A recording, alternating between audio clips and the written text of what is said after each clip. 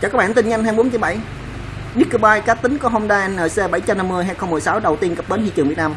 Nhằm thay thế cho Honda NC 700 đã sản xuất từ năm 2012 đã có dấu hiệu lão hóa. Phiên bản nâng cấp NC 750 ra đời vào năm 2014 nhằm đáp ứng nhu cầu ngày càng cao của một chiếc Nickelback cỡ nhỏ thiết kế đẹp mắt nhưng phải sở hữu khối động cơ mạnh mẽ có thể cạnh tranh tốt với những đối thủ phân khúc 800 phân khối. Sau 2 năm ra mắt Chiếc NC 750 phiên bản 2016 được trình làng tại triển lãm ECMA vào cuối tháng 11 2015. Có sự thay đổi một số chi tiết ở phiên bản cũ như màu sơn, cụm đồng hồ LCD với nhiều thiết kế lựa chọn màu sắc.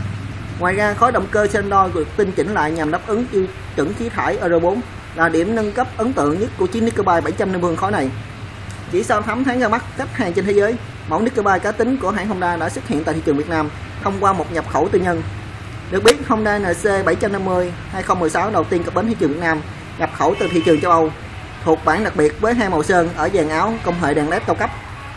Honda NC 750S 2016 có kích thước dài tổng thể bao gồm 2215mm rộng 750mm cao 1130mm chiều dài cơ sở 1520mm chiều cao yên xe tính từ mặt đất khoảng 790mm phản sáng gầm xe 140mm phiên bản đặc biệt với điểm nhấn là đề sử dụng công nghệ led.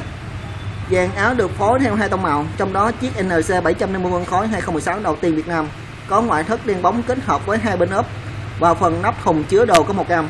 Phiên bản NC 2016 còn được trang bị vành manh đa chấu NC 7 inch nổi bật trong màu đỏ.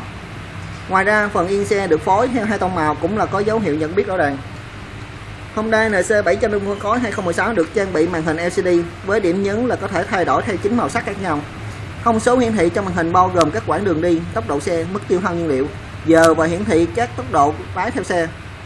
Thay thế cho vị trí thiết kế bình xăng quen thuộc của Honda NC 750 2016 là thùng đựng đồ có thể dung tích 21 lít, đủ sức chứa một bộ bảo hiểm phương phay.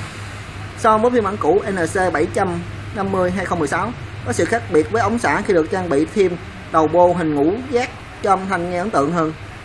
Cụm đèn hậu được sử dụng công nghệ LED khối động cơ sinh đôi dung tích 745 phân khối 8 van SOHC làm mát bằng chất lỏng. Sinh công suất tối đa 54 mã lực tại vòng tua 6.250 vòng phút. Mô men xoắn cực đại 68 Nm tại 4.750 vòng phút. Kết hợp với khối động cơ là hộp số liên hợp kép DCT với cụm công tắc thiết kế 3 chế độ chạy nhằm bên tay lái bên phải. Trong đó đáng chú ý nhất là chế độ lái thể thao ký hiệu S giúp tăng cường vòng quay cao hơn trước khi sang số.